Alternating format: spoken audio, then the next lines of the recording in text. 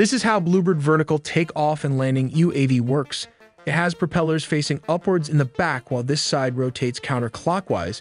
The other propeller opposite it rotates in the clockwise direction. This configuration is designed so that the rotor's reaction torque is cancelled, stabilizing the UAV and preventing it from spinning uncontrollably. Once the VTOL flight is stabilized, the UAV can transition into forward flight mode, utilizing its 50cc two-stroke engine. However, this is no ordinary UAV. It has the capability to scan a car's member plate from many meters away and map out an entire environment, all without the need for a pilot. Unlike traditional UAVs that require a runway for takeoff to complete their missions, the Bluebird unmanned aerial vehicle can accomplish the same mission by launching from anywhere, even closer to the target.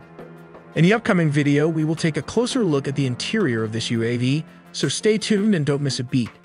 With this video, we're doing something different by studying Bluebird electric-powered ThunderB and WanderB VTOL unmanned aerial vehicle that could be operated from maritime ships. It can also operate in congested urban buildings as well as forest clearings. It does this by combining the advantages of multicopters and fixed-wing UAV, switching from vertical to horizontal flight mode when taking off and landing. But why do we need vertical takeoff and landing with fixed-wing aircraft?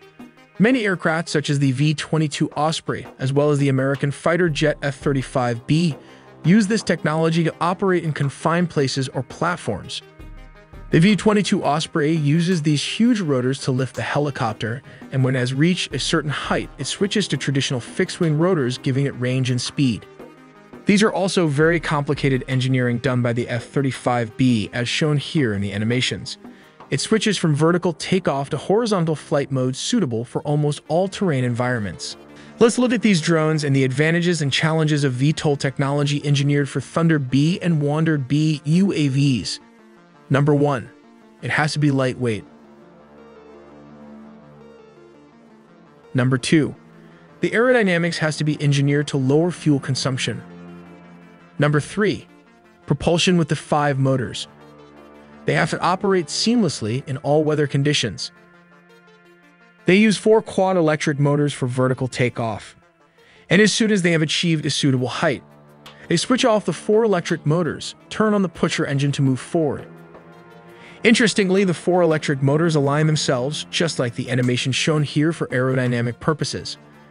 The only scenario is in bad weather conditions where the four electric motors work in conjunction with the pusher engine to stabilize the UAV from spinning all over the place.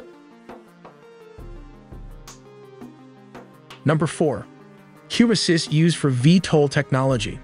This means it has to land in a harsh maritime sea environment on top of a landing deck of a ship that moves along with the waves. The top secret technology and software helps to pinpoint the drone to even land on autopilot mode.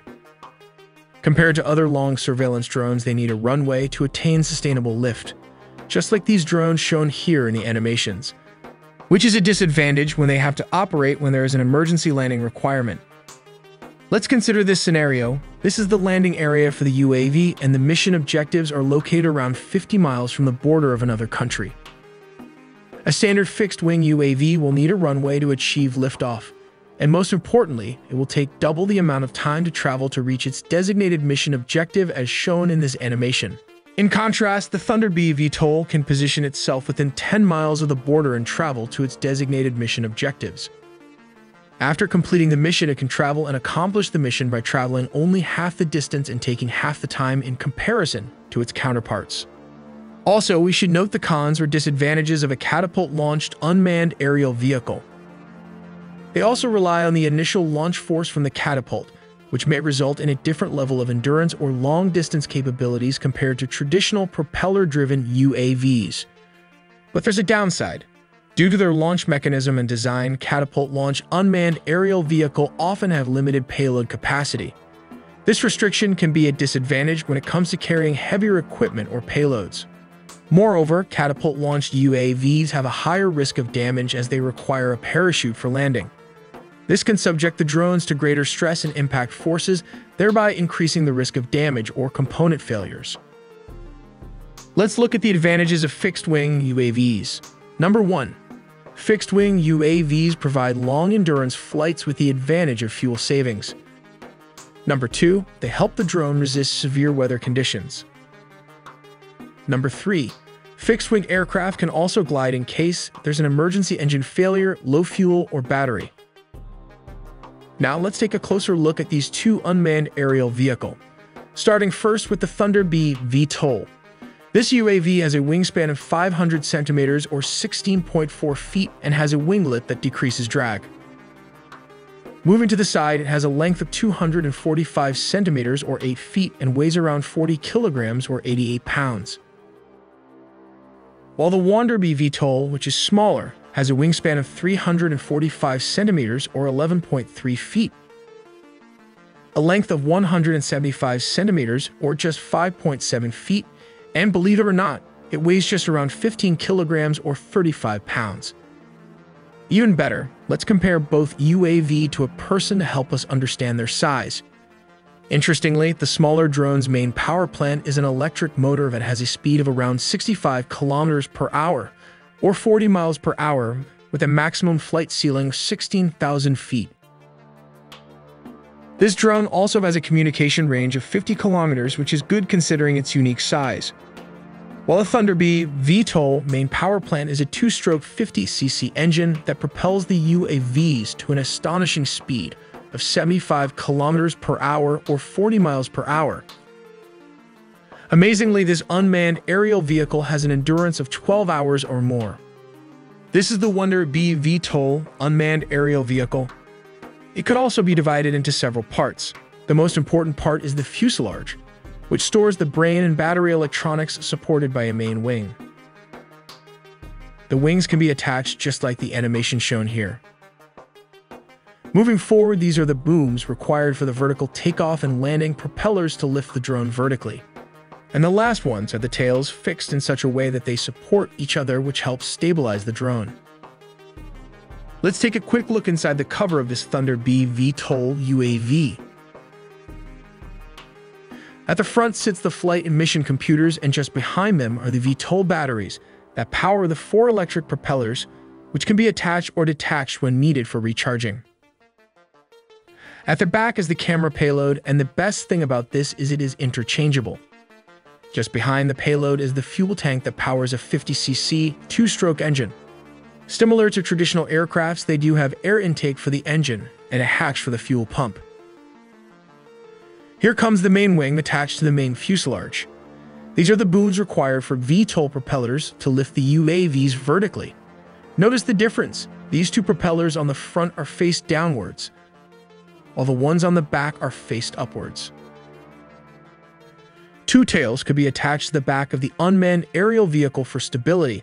Another wingtail is joined together, helping it gain additional lift when in forward flight and the last part is the wings which could be attached as shown here in the animation.